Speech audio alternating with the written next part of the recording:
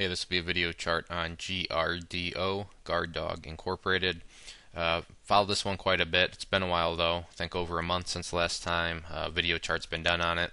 So I want to get it updated. Um, kind of a, little pattern here that I want to get pointed out.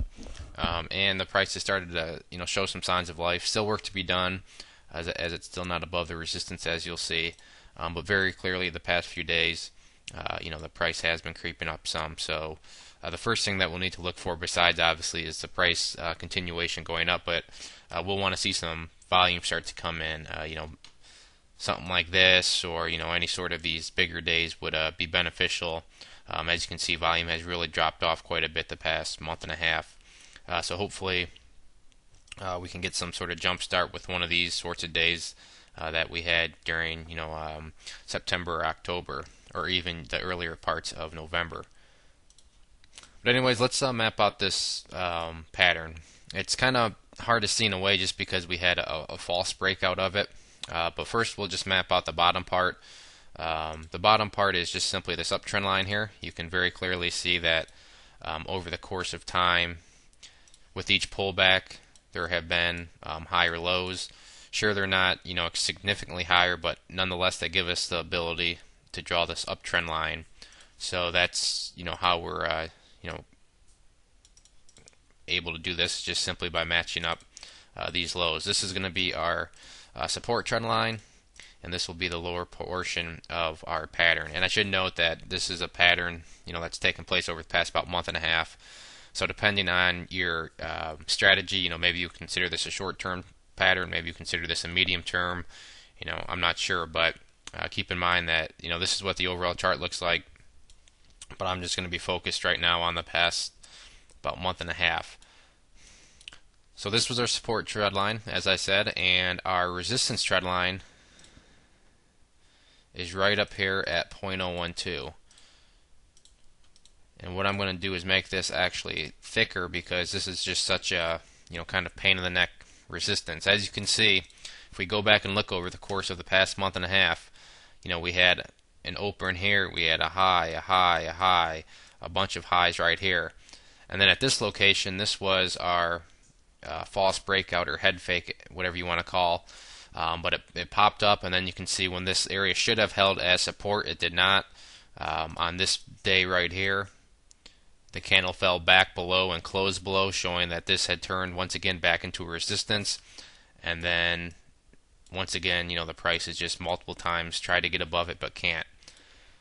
So if we rule out this area and just kind of erase that from our minds like that, you can very clearly, very clearly see that we have what would be called an ascending um, triangle, which is a bullish pattern, and it's bullish um, mainly because we have or it is occurring in an atmosphere where both the 50 and 200 day simple moving averages are increasing. Um, now, if, if this was, were occurring in kind of a, a, a chart where we had the 200 day down or um, sloping downwards and the 50 day, you know that would be in a bearish context, so it would it wouldn't be a, a, a bullish context um, within that um, setup. But here it's it's occurring with these increasing moving averages. So this is a bullish pattern, and what we obviously want to see is a break of this very stubborn 0.012 level. But not only a break, as we can take back from this example here, but let's say we do get a break, the first thing we're going to want to look at is volume. If you look at this break and correspond that down, there is no volume on that break, so there really wasn't any sort of um, confidence, excuse me, that could be put into that break right there. So with another break over here,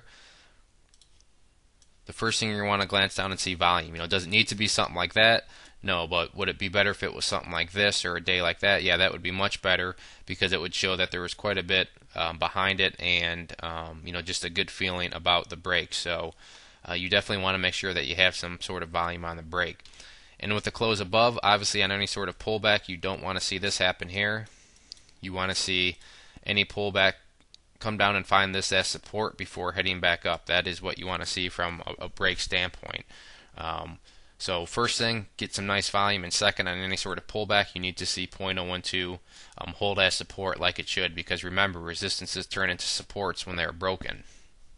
And a true breakout is always going to be able to hold its its uh, former uh, resistance level because it will be a true support. So keep that in mind.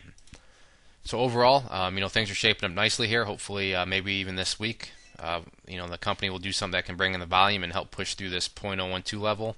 Um, but only time will tell. But we are in a nice little bullish pattern here, so we'll have to see what uh, what's in store for the chart. If there are any other questions on it, please shoot me a message. I'd also encourage you to check out bullwarriorstocks.com. If you go there and sign up for the free newsletter, you will be sent a free ebook, which has been getting good reviews. And with your subscription, you'll get chart setups, trade ideas, educational pieces, all sorts of things from big board stocks down to pennies. So, uh, good variety, something for everybody. And best part is, it's all free, so it's definitely worth at least checking out. One more time, this was GRDO. Thanks for listening.